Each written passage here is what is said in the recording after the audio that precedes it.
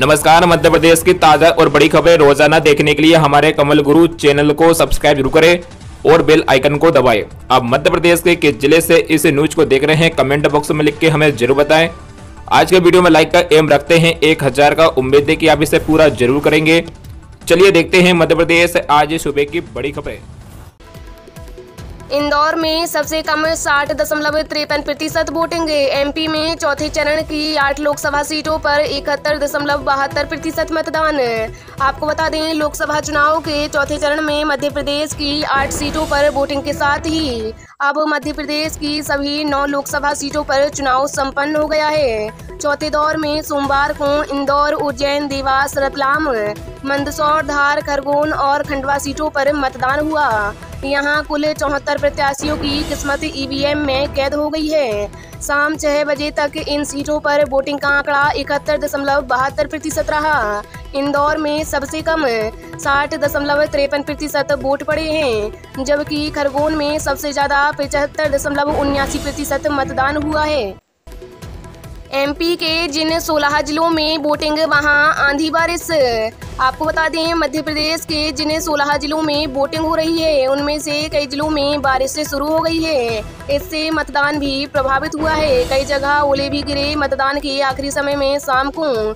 इंदौर, रतलाम, धार, झाबुआ और शाजापुर में पानी गिरा।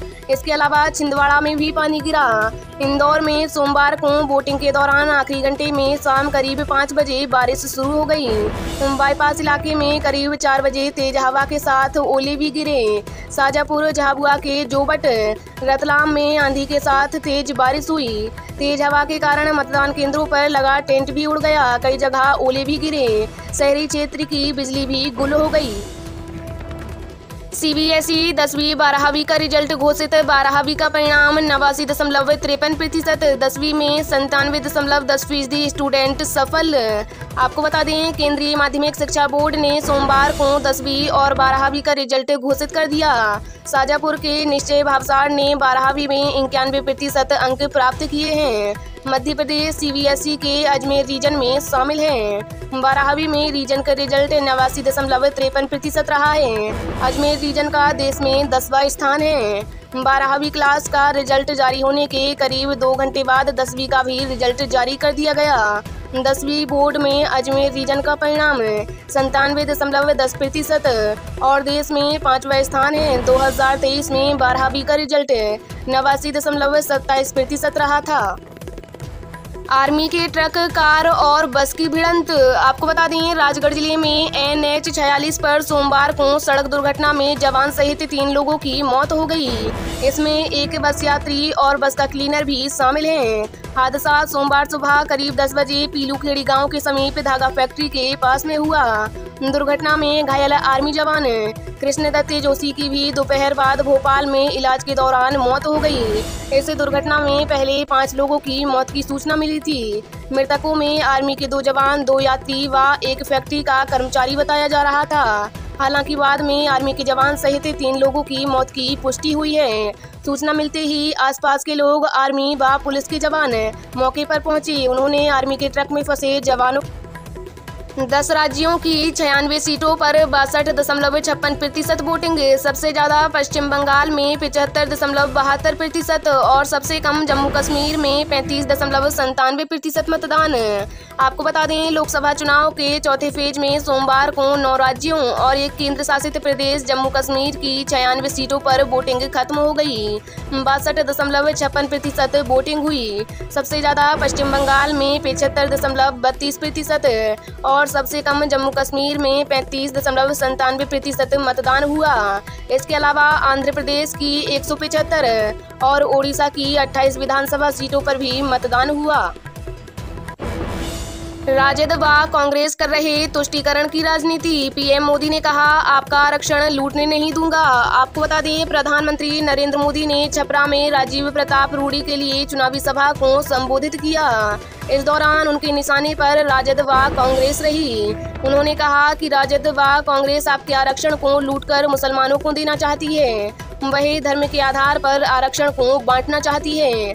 मोदी, आपके आरक्षण को लूटने नहीं दूँगा। उन्होंने कहा कि आज विश्व में भारत का रुतबा बढ़ा है। इस चुनाव भारत की साख को और बढ़ाने का काम करेगा।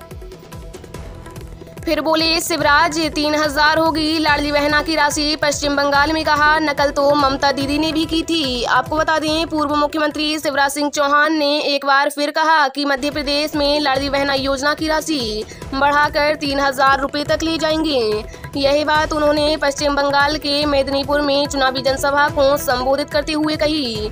पूर्व सीएम शिवराज सिंह चौहान ने कहा, मैं मध्य प्रदेश का चार बार मुख्यमंत्री रहा, हर कार्यक्रम की शुरुआत बेटी की पूजा करके करता हूँ, क्योंकि बेटियाँ दुर्गा, लक्ष्मी, सरस्वती हैं। स्थानीय निकाय के चुनाव में बेटियों को 50 प्रतिशत आरक्षण दिया। बेटियों की शादी मध्य प्रदेश की सरकार कराएगी। प्रदेश में एक करोड़ बत्तीस लाख बहनों के खातों में अभी हम बारह सौ पचास रूपए हर महीने डाल रहे हैं। इसे बढ़ाते हुए तीन हज़ार रूपए महीना तक ले जाने वाले हैं। लगातार उस राशि को बढ़ा रहे हैं, कारण हमारी बहनों को छोटे छोटे कामों के लिए हाथ ना फैलाने पड़े। मोदी के खिलाफ नामांकन करने वालों की कतार। वाराणसी में देश भर से 100 लोग पहुँचे। आपको बता दें, वाराणसी से पीएम मोदी के खिलाफ नामांकन करने देश भर से 100 से ज़्यादा लोग पहुँच गए। इससे कलेक्ट्रेट ऑफ़िस के बाहर अफरा तफरी मच गई। पुलिस कर्मियों को कलेक्ट्रेट ऑफ़िस का गेट बंद करना पड़ा। इस दौरान पुलिस से झड़प और धक्का मुक्की हो गई। लोगों ने हंगामा शुरू कर दिया। सूचना पाकर अफसर मौके पर पहुँचे। सभी को समझाकर शांत कराया। अब सभी लाइन में लगकर बारी बारी से नॉमिनेशन दाखिल कर रहे हैं। दोपहर तक करीब सत्तर लोग पर्चा दाखिल कर चुके हैं। राजस्थान के मिमिक्री आर्टिस्ट श्याम रंगीला भी नामांकन करने वाराणसी पहुँचे हैं।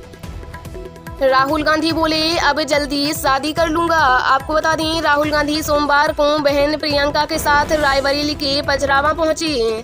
दोनों भाई बहन जनसभा को संबोधित करने एक साथ मंच पर पहुँचे। इस बीच भीड़ में से एक लड़की ने पूछा, राहुल जी, आप शादी कब कर रहे हैं? राहुल ने सवाल अनसुना कर दिया। तो प्रियंका ने हँसते हुए उनका हाथ पकड़ा, कहा, पहले उसका जवाब दो। राहुल ने माइक संभाला और कहा, क्या सवाल है? लड़की ने फिर शादी को लेकर सवाल किया। इस पर राहुल ने कहा, अब जल्दी शादी कर लूँगा। संबोधन के दौरान राहुल ने प्रियंका को अपने पास बुलाया, दुलार करते हुए कहा, ये मेरी बहन मेरे लिए कैंपेन कर रही, अपना खून पसीना बहा रही। ये मेरी दो माताओं की कर्मभूमि है। इसलिए यहाँ से चुनाव लड़ने आया हूँ। कांग्रेस देश के युवाओं के लिए क्या करने जा रही है, ये बताने में रायबरेली आया हूँ। मुंबई में बारिश से 60 किलोमीटर की रफ्तार से हवा चली। घाटकोपर में बिलबोर्ड गिरने से तीन की मौत, उनसठ जख्मी, सड़सठ को बचाया। आपको बता दें, मुंबई में सोमवार तेरह मई को दोपहर तीन बजे अचानक मौसम ने करवट ली। धूल भरी आंधी के बाद बारिश भी शुरू हो गई। तेज हवा और आंधी से दिन में ही रात का नज़ारा दिखने लगा। अंधेरा छा गया। इसके चलते घाटकोपर में बिलबोर्ड गिरने से तीन लोगों की मौत हो गई और उनसठ लोग जख्मी हो गए। एनडीआरएफ के मुताबिक बिलबोर्ड गिरने से फंसे सड़सठ लोगों का रेस्क्यू किया गया। बचाव कार्य फ़िलहाल जारी है। वहीं मौसम में आए बदलाव का मुंबई एयरपोर्ट के ऑपरेशन पर असर पड़ा। कई राष्ट्रीय और अंतर्राष्ट्रीय उड़ानों को डाइवर्ट किया गया, जबकि कुछ का समय बदला गया। मेट्रो, लोकल रेल सर्विस भी प्रभावित हुई। हालाँकि दो घंटे बाद फिर से सेवाएँ शुरू हो गईं। वीडियो को लाइक करें, चैनल को सब्सक्राइब करें और ज़्यादा से ज़्यादा